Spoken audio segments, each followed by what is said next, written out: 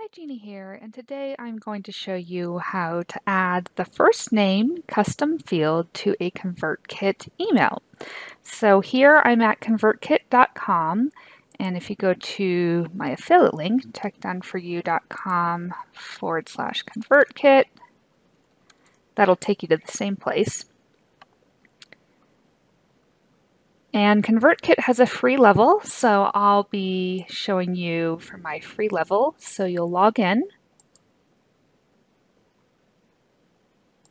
And then you have a dashboard area, and from here, you'll click on Send and Broadcasts. Broadcasts are one-time emails, so we'll go to New Broadcast. And from here you can put in a subject line and you can also split test. So this is the A-B test. You can put in two different subject lines if you'd like. So let me put in my subject line. Okay, so I've just typed in my own subject line and then here we're going to put hi and then where the plus is you'll click on this and we'll go to Insert Personalization.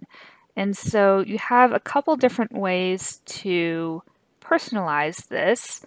So you can do the first name, which is what I normally suggest. You can also insert as a custom field the email address. You can do tags or a personalized greeting. And so I'm just going to do add to email right here. And this is what's called a custom field. And so it has code. And so if you edit this in any way or add spaces or punctuation to it, then it may not populate. So you want to make sure you don't do anything to that custom field. So from there I can add a comma and paste in my content. So I'm just going to paste in my swipe copy. I'm promoting a JV partner. So when I'm doing this, sometimes I have copy in a Google Doc and I forget to add this first name. So you want to make sure you take that out if you have that in your, your copy. So I'll just scroll down and things like this, insert affiliate link. I am promoting, so I'd get a small commission if somebody signs up for her program. This is actually free. So um, if later on they sign up for her program, then I would get a small commission. So that's how affiliate marketing works. Let's get that affiliate link. It comes from Infusionsoft, which is a high-end high affiliate marketing system. So a lot of marketers I know don't quite have the budget for Infusionsoft, so it's not one that I normally teach. So I'll just say friend, she's my friend. I worked with Alina at the University of Nevada, Reno back in the day. So before she had her business, I worked with her, and we both worked at UNR. And she was in the instructional design wing of the university, and I was in the admissions records and financial aid departments. So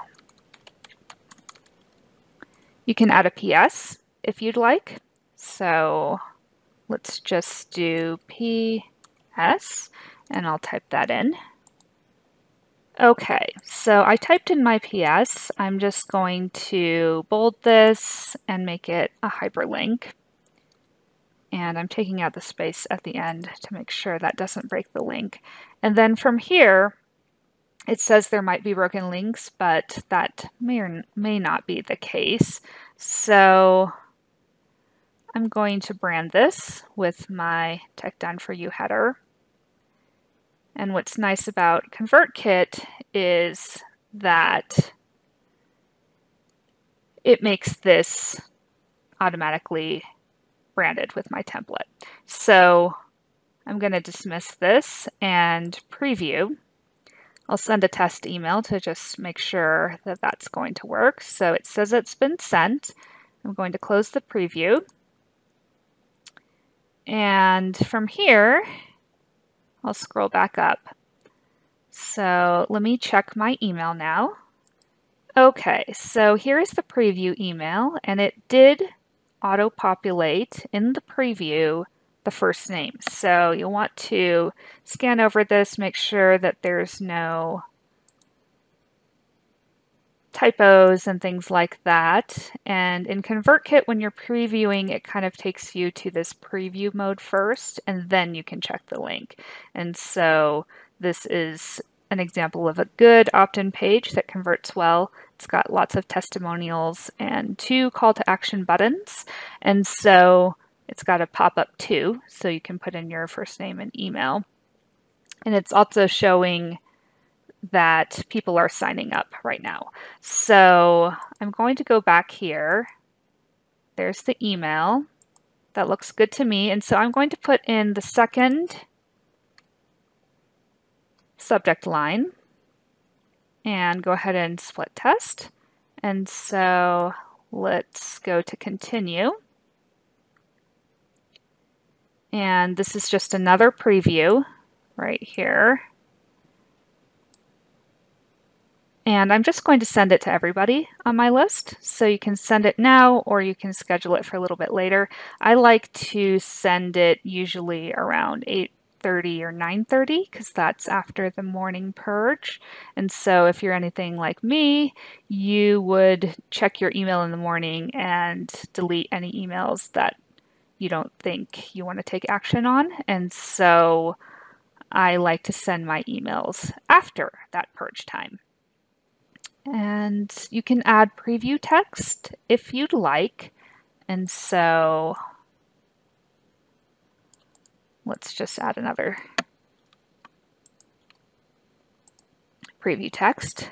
So you can post this to your feed if you want. So you can set this up um, and I'm not going to do that right now, but you could always hook this up to social media. So let's go to continue. And it's going to a small list in my demo account. It's not my full list. And I'm going to go ahead and hit schedule. And it says, it confirms here the date and the time. And that's all there is to it. If you enjoyed this video, please like, subscribe, and hit the bell notification so that you don't miss the next video. Have a great day.